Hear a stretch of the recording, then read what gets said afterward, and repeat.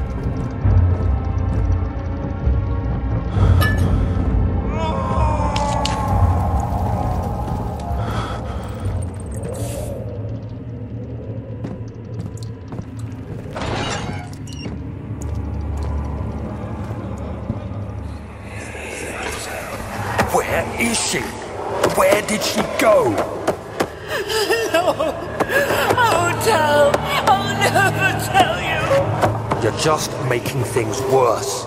Look, this is no place for a young girl all by herself. She could be hurt or worse. There's no telling what horrors await down there.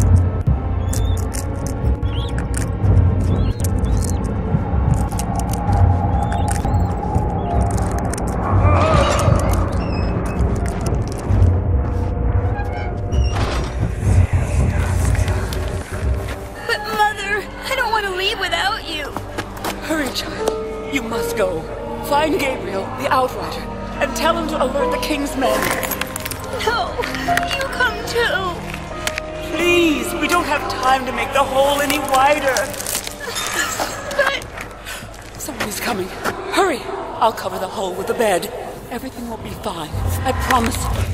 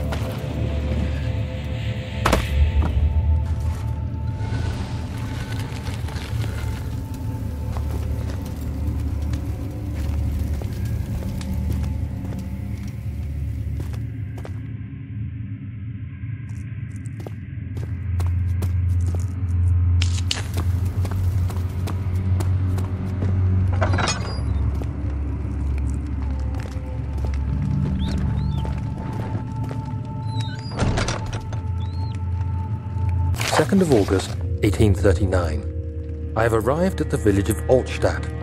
It's a haven in the midst of a vast forest and the last stop before my final destination, Castle Brennenburg. It's late in the evening, and the outrider, who has been with the coach since Bremen, advised me to wait until morning before I venture further. I've arranged for a bed at Der Müller, the village's only inn, and am now waiting for the sun to rise. I try to sleep, but as I close my eyes, I see the men who fell victim in London. My fear and shame forces me to witness the same scenes over and over. They are dead because of me.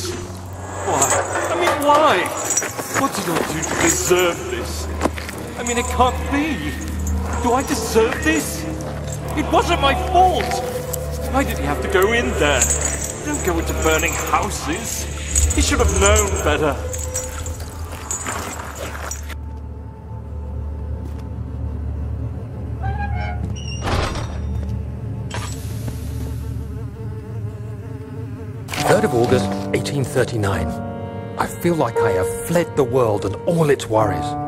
Brennenburg is a majestic creation perched upon a forest-clad hill with towers reaching well above even the highest pine trees.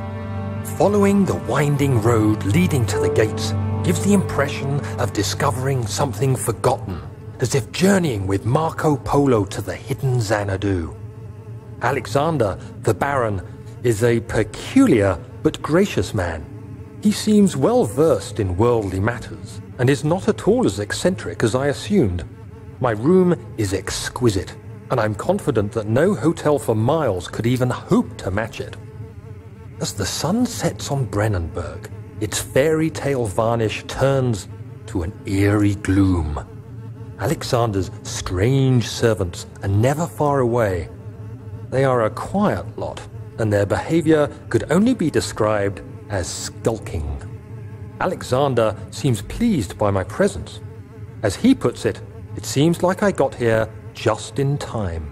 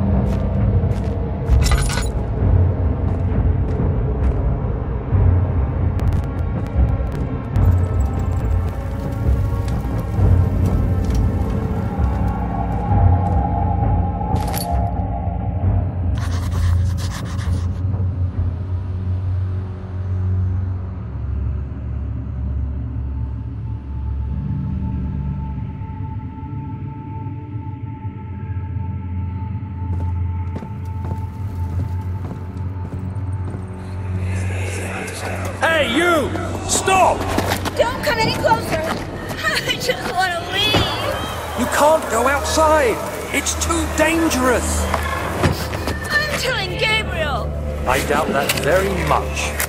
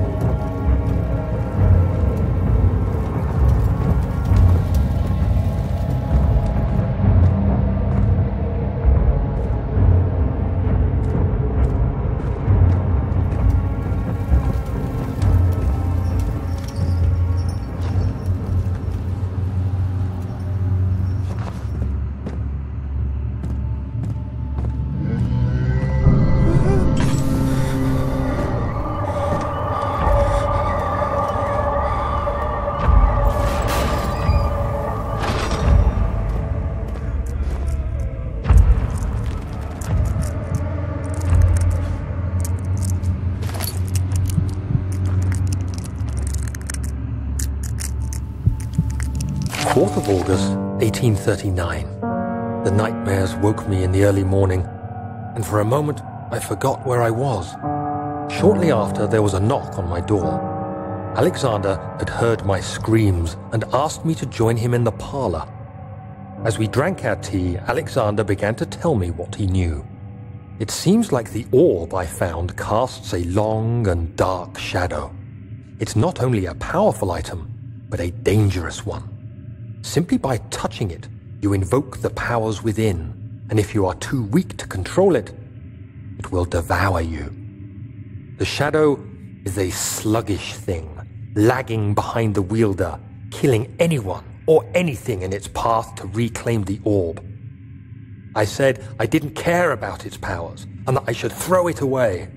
Alexander advised against this, as I'd still be a part of the path to the orb and eventually suffer death. Having the orb, I would at least have the chance to fight back when the time came. I asked Alexander what he meant when he said he could protect me, and he answered that things can be done, but at a price.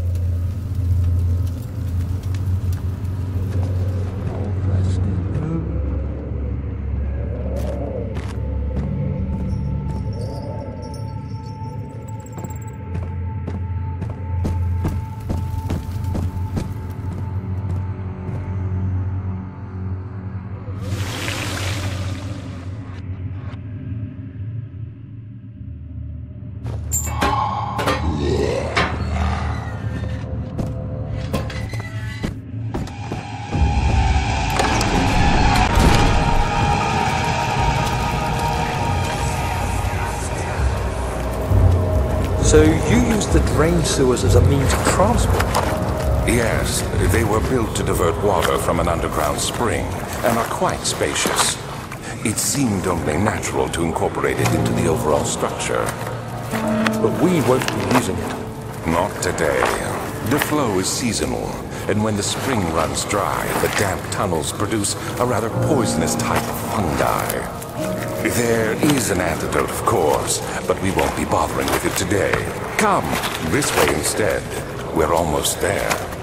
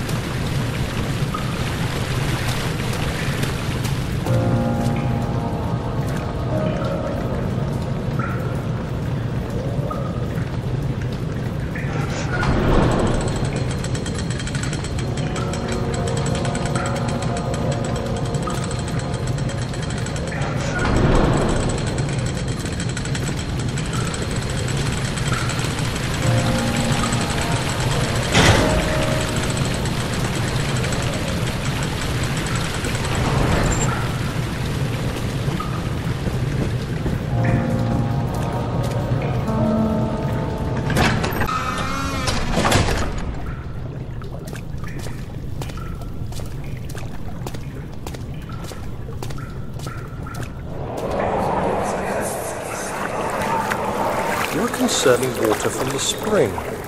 Yes, it enables me to control the water in the drain sewers to some extent. Also, it can be used for all sorts of purposes. Like for drinking. Eh, well, that too. But mostly to run different machines. Ah, like water mills. Exactly.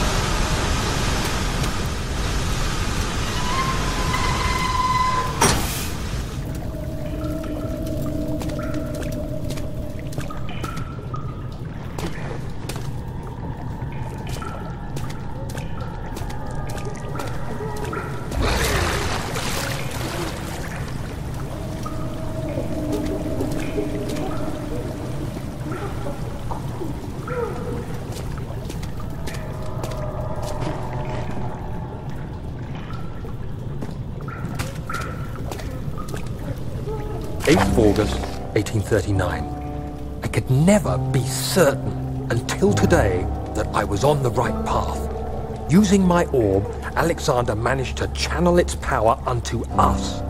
The inner sanctum flared with blue, fiery light, and I could feel the same things I felt in the dark chamber in Algeria. It was like standing in a mad whirlpool of impressions. It was terrifying. But Alexander kept calm and wielded strange tools of science in order to tame the storm.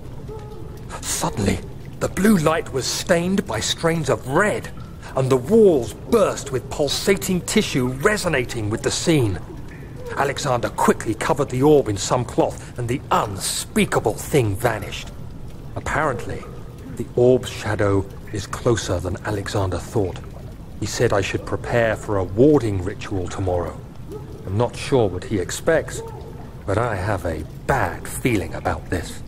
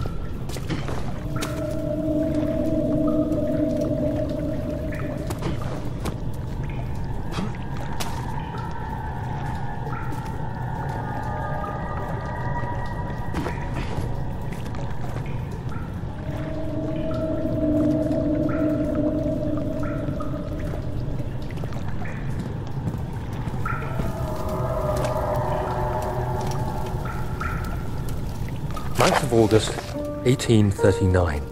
It is still early, and Alexander is busy preparing for the ritual later today. Seeing him this worked up makes me question why. What does he stand to gain? I realize he is curious about it all, but surely there must be more. Is he so foolish he will attempt to tame the power of the orb? I must admit that yesterday, when Alexander flooded the inner sanctum with blue light, I realized we had but graced the orb's true potential. This might turn out to be more than escaping a creeping shadow. It might be the beginning of something truly extraordinary.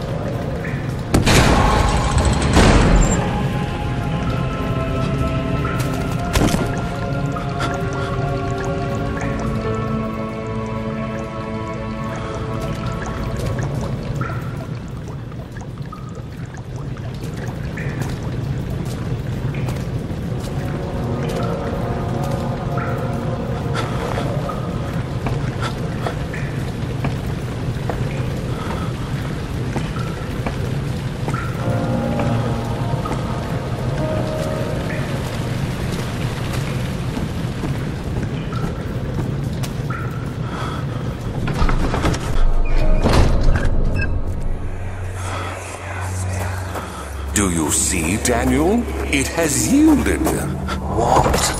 The shadow. It has? For now. Come, let's get this out of here so we can get some peace. Yes, let's. Where to? Just down the corridor to the morgue. Are there more dead men there? You did well, Daniel. Come, let's get going.